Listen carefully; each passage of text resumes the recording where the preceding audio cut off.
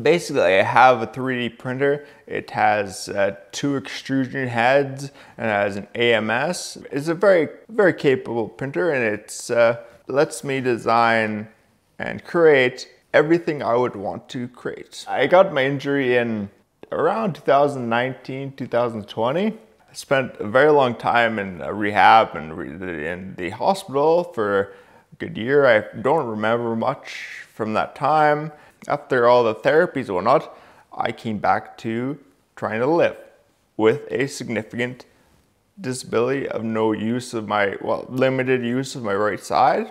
And one thing I'm really interested in is using a computer because I'm a nerd. I really like computers. Computers are interesting. Just because things are designed for the able-bodied, they're designed with that in mind, doesn't mean that those tasks couldn't be designed with you, you in mind, whatever that is, whether you're paraplegic or missing an arm, things like that. Do you remember the first thing you made with it, the first assisted uh, tool?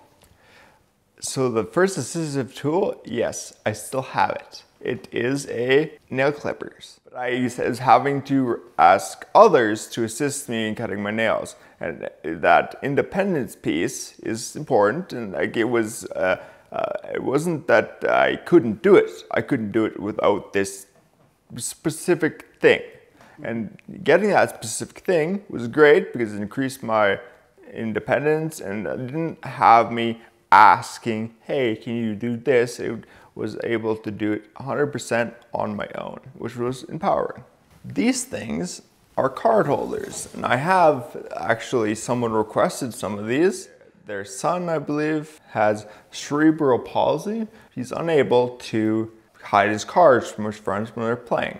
So he wants something like this where you can design to have the cards so you can see and hide them from his friends and be able so he can play cards too despite his you know cerebral palsy i have more um, more uh, or, uh, more desire to work on things than i have things to work on. So i'm looking to uh, you know reach out to people. I'm looking for people to reach out to me and i will work with you